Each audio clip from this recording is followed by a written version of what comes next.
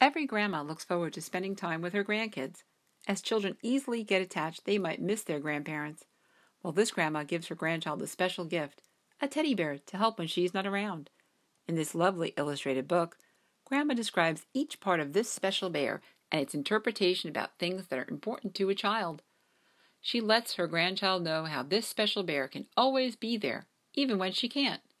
The bond between a grandparent and grandchild is truly unique and is certainly celebrated in this lovely publication. Learn the answer to the question, Grandma, what are teddy bears made of? Available now in print and as an ebook via Amazon.com.